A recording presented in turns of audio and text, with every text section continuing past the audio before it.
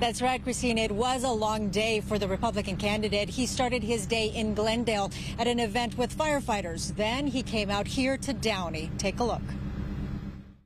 Ladies and gentlemen, stand with me. Help me welcome Larry Elder. At New Season LA Church in Downey. Recall Republican candidate Larry Elder receives a rock star ovation. Only to be interrupted by this heckler.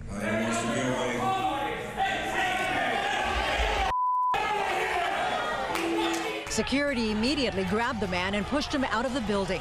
Elder continued as if it never happened. The reason I'm doing this is because uh, we got a state to save. In the hour and a half Latino town hall meeting, Elder talked about everything from the high cost of living to the rise in crime in California. And we're talking about violent crime, up 41%, shootings and murders. And disproportionately, the people who are hurt by the rise of crime are black and brown people living in urban areas. When it comes to illegal immigration, I do not believe that we should be encouraging illegal immigration no matter what country you come from. He accuses Governor Gavin Newsom of poorly handling the pandemic. I wouldn't have shut down the state.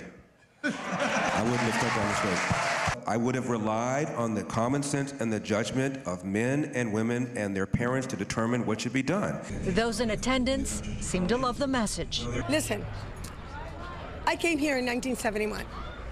I have lived here all my life. And I'm considering leaving the state because I cannot stand it here anymore. I just can't. And he brings you hope? He, oh my goodness, yes. Larry's amazing. I've been listening to him for 25 years. So he's amazing. I was so glad, so, so very glad that he decided to run because we need somebody that represents the values that we have. Elder promised to protect the freedom of religion. He expressed he's pro-life and he does not believe racism is a problem in America. And when I become governor, I'm going to use the power of my bully pulpit to say things like that to stop this nonsense. Racism has never been less significant in America than today. And, um, One woman walked out calling Elder a bleeping hypocrite. Outside the church, the heckler who was kicked out had a lot more to say. But Elder supporters say he's the right man for the job. And come Tuesday, they'll be voting for Larry Elder. He is out to change and improve. And he's going about it the right way. He's not doing it as a government entity, he's doing it as a person who cares.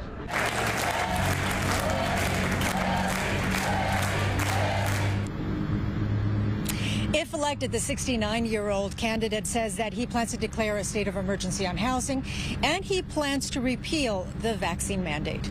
Alex, Christine, I'll send it back to you guys in the studio. So it looked like a lot of love for Larry Elder, Gina, but not a lot of masks for the indoor event.